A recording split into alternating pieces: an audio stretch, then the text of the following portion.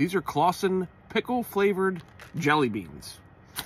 Yeah, we're gonna try them. So I found these at Target, and uh, they do say pickle flavored. So I guess we'll see. I think they're made by the same people that did the other gummy pickle spears, but uh, jelly beans. Here they are.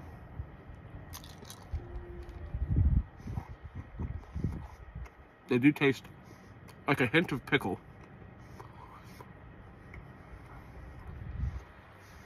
Then it gets weird.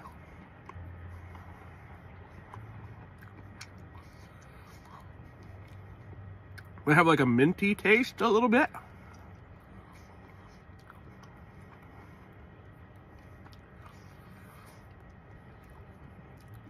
No.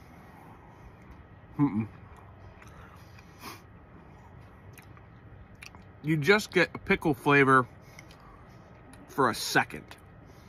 And then it gets kind of like minty, fake tasting. I can't really explain what the flavor is.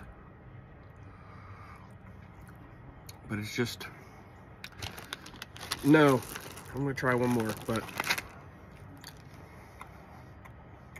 pickle for a second. Like right on the outside. Ooh, that's worse now. No. No. Just leave them there. Yeah.